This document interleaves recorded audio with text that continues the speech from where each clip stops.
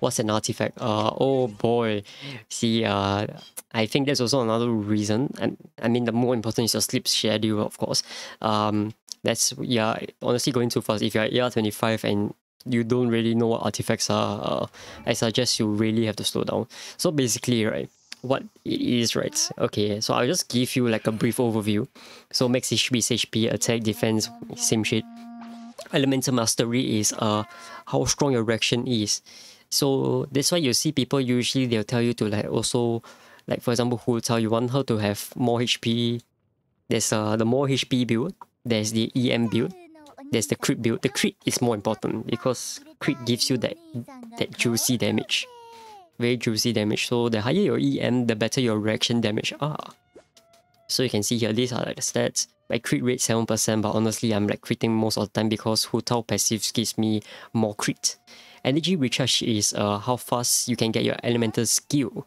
So your your E, basically your E on the keyboard. CD reaction, I think no need to say, not, nothing much. Uh, another thing is weapon. Weapon. So one of the more important things is um, because it'll give you your, your base attack, crit damage, all those. So uh, you can see that you should have a lot. If you're AR25, you should have a lot of weapons and artifacts. So uh, Dragon, Dragon's Bane, you have Black Tassel, all these. And uh, there's like passive as well, increased damage against slimes.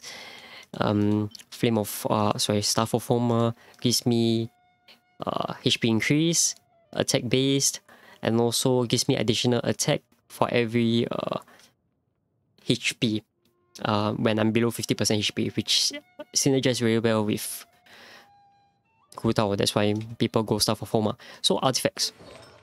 Artifacts are these.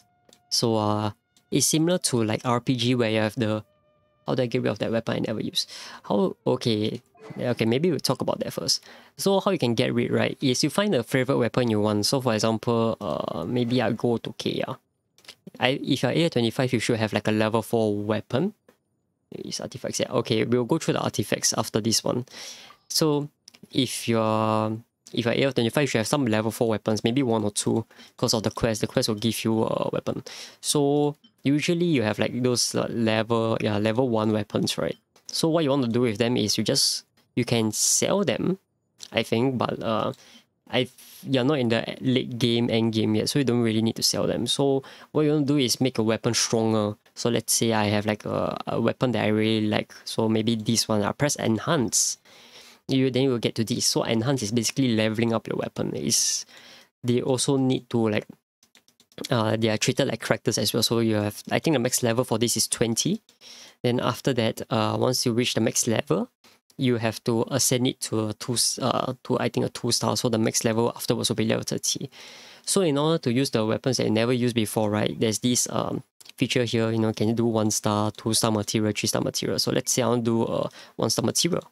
So I add here, and then you have these gems, right? These gems are I like your level up materials, but it's for weapons. You can craft them also. You can craft them, I think, under the blacksmith. The blacksmith can craft them. So you can like do all these. And then you can select how many, uh, how, what kind of weapons you want to use. But usually when you are doing like level 20, level 30 weapons, you can do a 1, 2 star. Once you reach like towards the level 40, level 50, you probably want, want to use a 3 star material. If not, it'll take you forever and refine is usually it's like your constellation your character like C1 C2 but instead of a C R. So you want to get like similar weapons. So usually 3 star weapons you don't really need them need them to be like R1 R2 R3 R4 R5 this and that. Usually you want to do these like R2 R3 weapons when you have like a much better weapon like a like a 4 star weapon or 5 star weapon. So a lot of these are late game I would say late game you have to worry you have to worry quite a bit about this. So it's important to manage your resources during the early game so that you don't suffer during the late game. So artifacts. Okay uh, let's maybe talk about Xingqiu. So artifacts uh is like your JRPG uh, sorry not JRPG RPG like Maple Story all those RuneScape where you have the helmet and the armor sets and all those. But instead of calling armor set they call artifacts. So an artifact um basically boosts your character stats. So usually what you want to do in the early game is just boost the crit rate so they can do more damage. especially if you're an F2P player, you want to really get the damage numbers there because you won't be doing much damage. So artifacts, you have various kind of artifacts.